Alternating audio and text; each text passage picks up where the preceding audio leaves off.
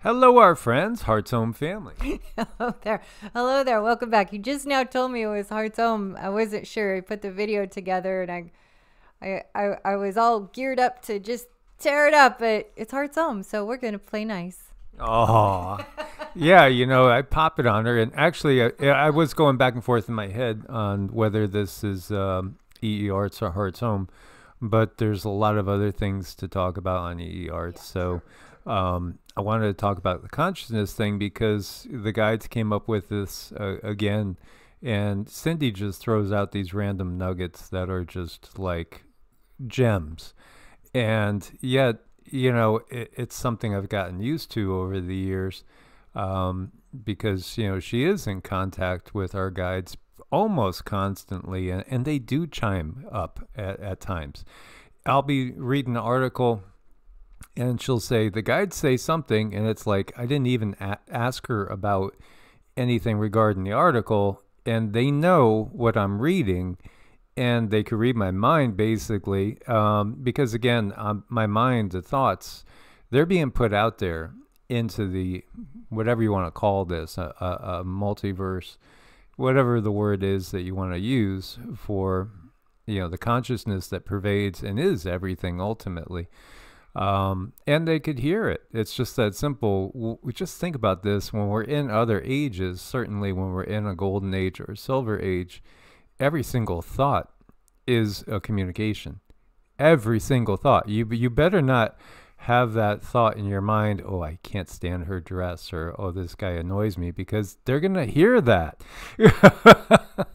that is so true. I, I mean, we're learning about this now, and so many people are already uh, reading others' minds, but we're in a place right now where where it's probably not appropriate for for people to speak up and say hey you know that wasn't very nice even if you are reading their mind. But you know this goes into translation too when it comes to translating information that can be weird wonky type of world because what one people have one person has a perception of another might have a different perception of yet it's the same information that is incoming that is being translated so there's a lot uh, out there that we need to work on as individuals, you know, with our emotions, with our healing.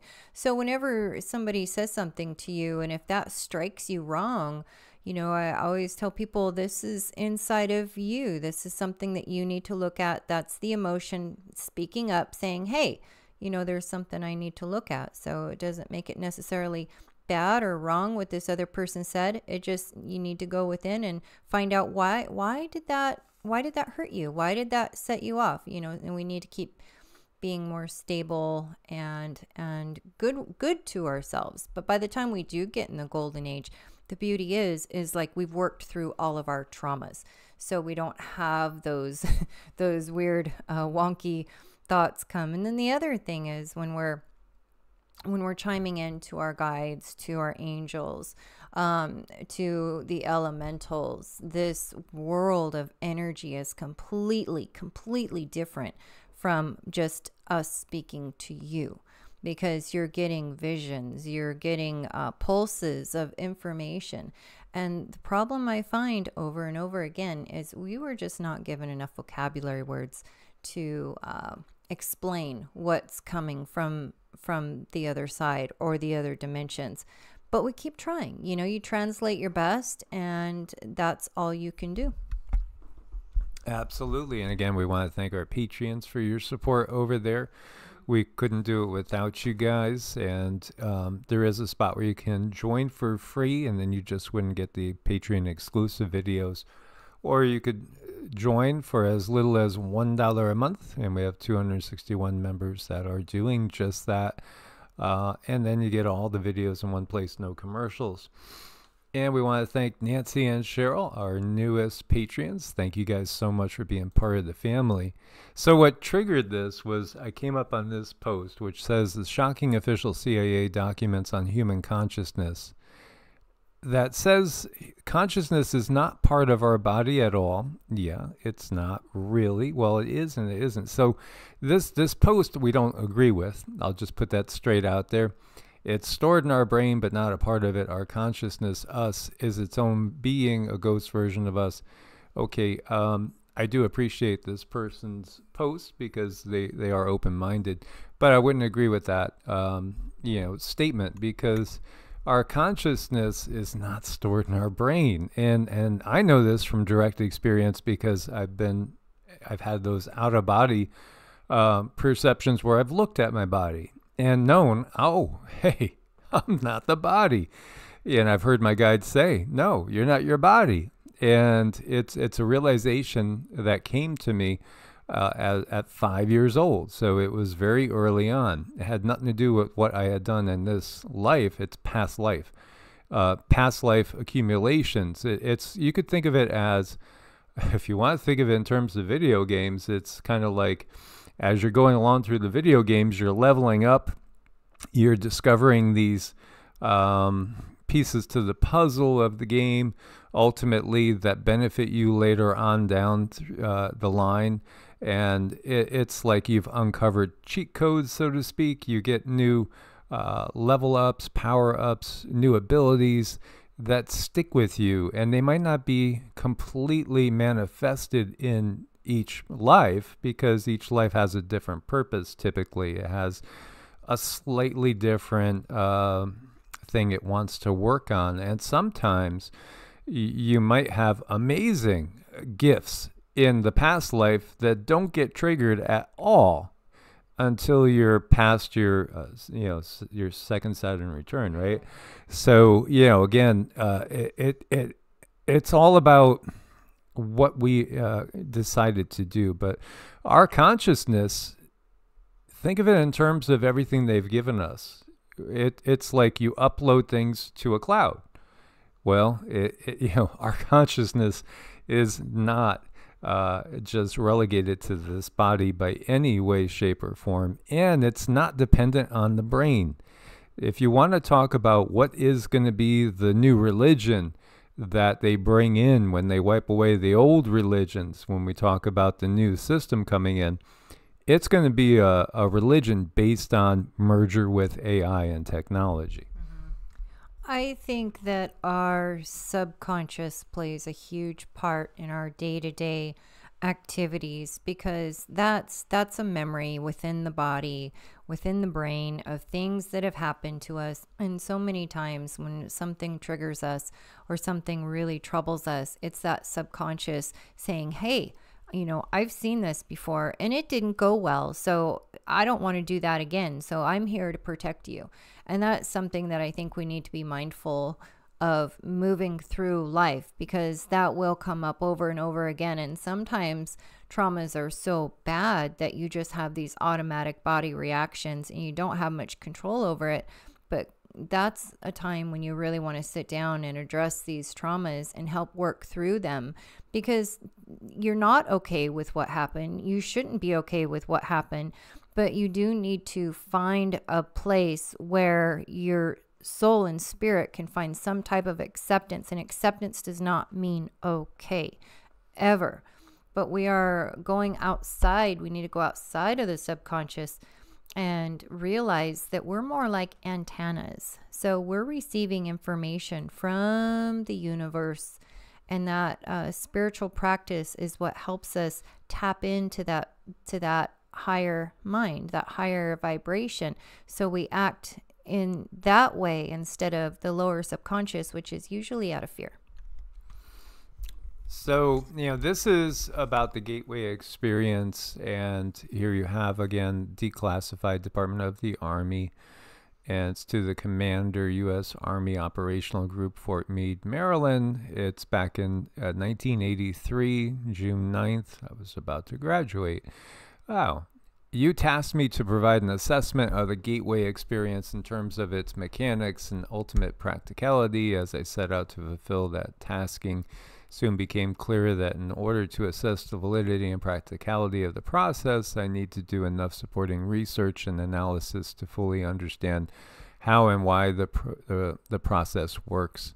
So, you know, he goes on talking about these particular techniques because it's all about inducing out of body states and understanding the reality that we are not the body. That's the basic thing we're trying to get to. Am I the body? Am I just a body or am I something that's operating the body? Of course, when you look to uh, the Sanatana Dharma, it's clearly said uh, that you are not the body. You know, the body is nothing uh, but a vehicle. As the Bhagavad Gita says, worn out garments are discarded by the user. And it's the same thing with the body. When the body has met its end time, it's no longer going to be useful. And at some point in time, you know, it's time to leave it. Then the soul leaves it and typically will take another form. But it may do so uh, a, after a period of time because, again, we go through this process of, of really what did we learn and sorting through. And sometimes that may take on this side of things in human terms and 3D terms decades or hundreds of years, literally, before you, you come back and, and do it all over again. Or maybe you will hop a portal and go to a different star system and have an incarnation somewhere else. Uh, these are things that we've learned uh, from our own introspection, from our conversations with our guide, remembrance guides, remembrances of past life, uh, and many people, and also dealing with you guys, because so many of you guys have had the exact same experiences that we have. Mm-hmm. Right, uh, you know, and one thing about it out there, it can be a really lonely world because people just they they can't really relate to other people when you are on a spiritual journey and that veil has definitely been thinned and you look around into the mainstream into the world you simply cannot relate any longer because you see the depths of how things really are and you're not okay with going going along with everything you have changed and, and one very difficult thing that happens also on an awakening is you lose friends. You lose very dear friends. You lose people in your life that were so extremely close at one time and point. But it, it's like our vibration changes and we move away. It's like we really don't have anything in common any longer with that person. And that's a very hard thing to deal with. You know, it's loaded full of, of guilt and sorrow because they were so very, very close. But understand you're growing, you're growing, you're expanding, and it's probably going to be better for that person because if you were that close, they're definitely keeping an eye on you and they're watching you, and you might help them awaken as well. Absolutely. So, what this is, as far as the gateway, um, the gateway technique, it, it, it's brain hemisphere synchronization technique. Um, and you know, yeah, there are articles you could read about that, and it's not really our purpose to give you any one technique. We don't want to give you any one model because there's no one size that fits all. And you know, again, we could have, if we were more about becoming rich in this world, which we're not, because we we just want to be able to get by, and and basically give the lessons we need, share the information we need to uh, help others heal where they need to. And, you know, we have no need to be a Bill Gates. We have no desire to be corrupted by uh, material things to that high degree or have the temptation to. So this is why we, we don't, you know, do our own systems and, you know, trademark it and go ahead, patent it or what have you, and then sell it. Um, because again, everybody is different. We're all unique, and you know something might suit you better than something else. You know, maybe for you, uh, meditating by a candle. Maybe for somebody else, using a mantra time and time again. Mantras work for me better, um, but again, sometimes they don't. You know, sometimes it's like I feel that itch and need to just move. So then I'll do qigong and you know again every there's all these different techniques that are available and and each has to find what works for them and it's good to use multiple techniques because again just just like uh, everything our own moods uh, our body chemistry uh, you know again the influence of the stars all those things are constantly changing so so is our consciousness. So what works today may totally fail tomorrow, but it might work in a week again. So it, it's good to delve deep. You know, find for yourself um, what works for you and when it works for you. The takeaway here, though, is is the reality that yes, it you know it does seem that consciousness is not limited to being inside a body or a brain. In fact, again, as Cindy was saying, you know the brain's kind of like it's it's like an operating system for the body itself uh, but consciousness, as we know, just even from all the documented cases of people that were clinically dead, and they could describe, well, that nurse over there went over here, this doctor left over there, that doctor came in. You know, they could describe exactly what happened when they're totally under. And and you know, I've I've had friends that have died and come back, and they were totally changed because again, they uh, they knew they remembered uh, that they're not the body. So it didn't really worry them anymore when they face these uh, scary situations that we can face.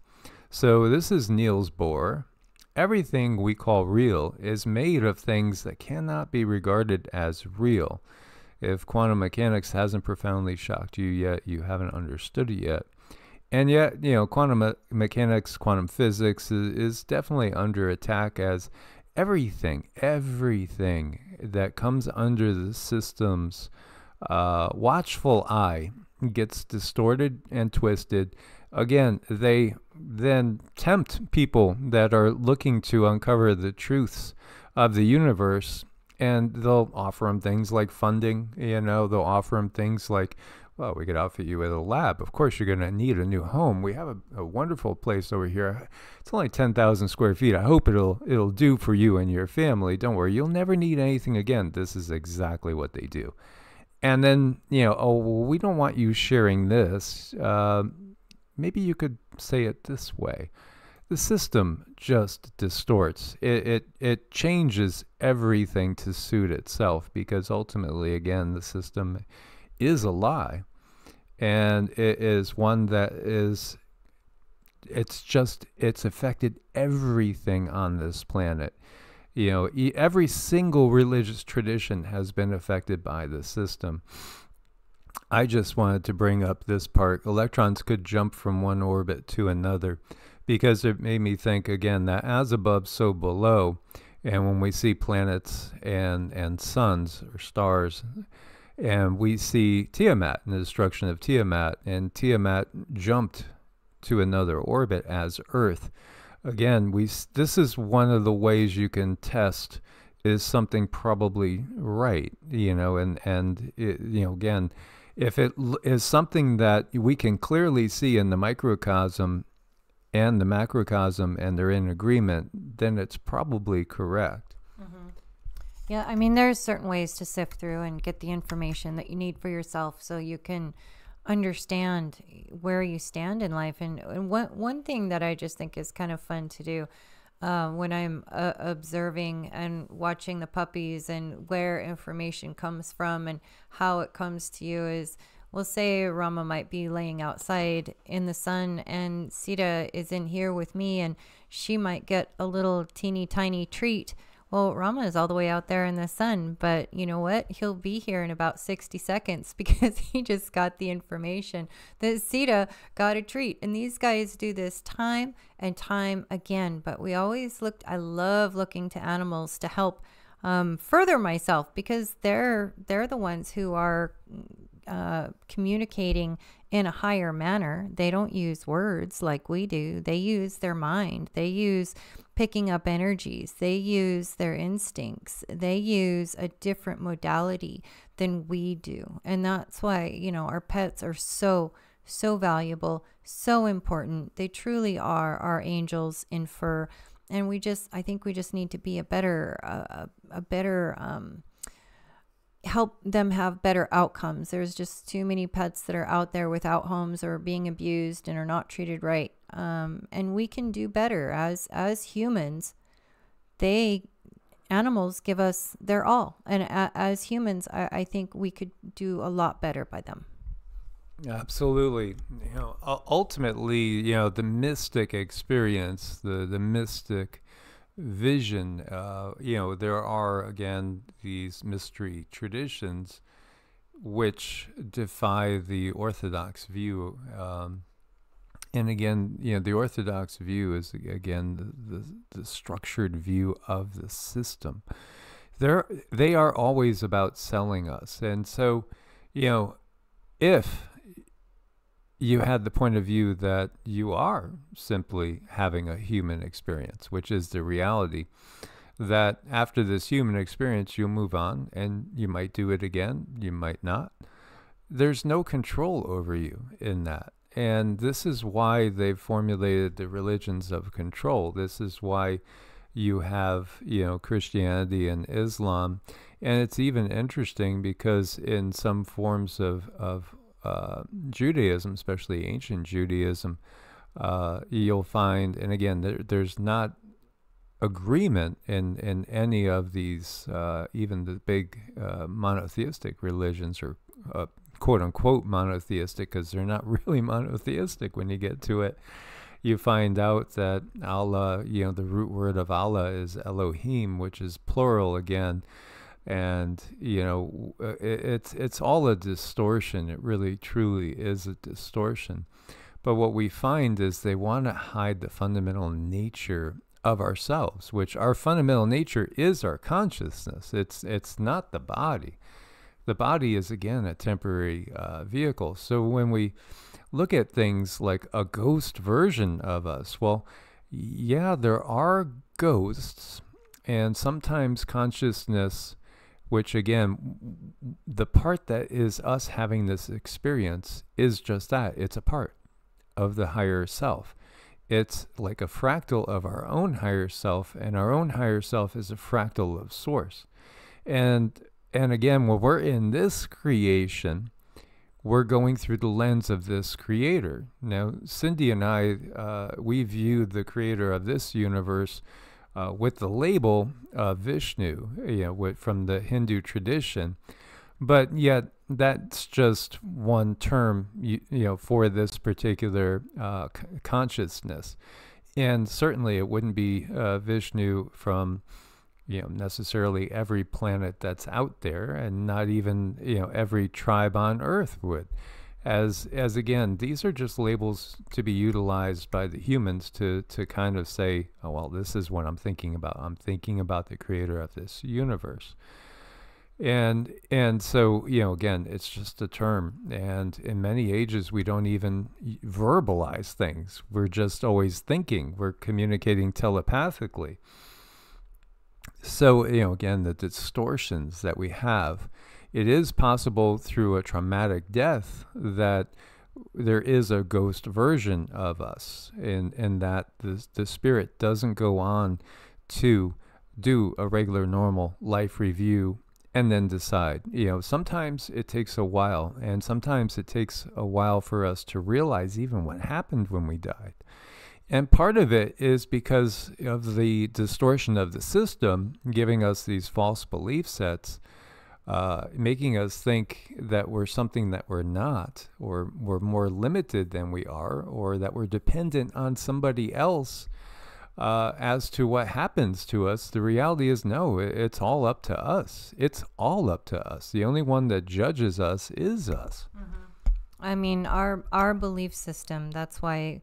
That's why the, the basic control system they they love to harness our belief system because that's the most powerful system besides our desire to eat food and drink water. I mean, those are basic instincts and breathe air. The belief system is right up there when it comes to controlling people. And that's the one thing that we are trying to help people find out is realize how important that belief system is and are you believing things that are limiting you? Are you believing things that are holding you in fear? Are you believing things that are not allowing you to live the best expansive life that you possibly can? Absolutely. So yeah our our consciousness well consciousness is us. That's the real us.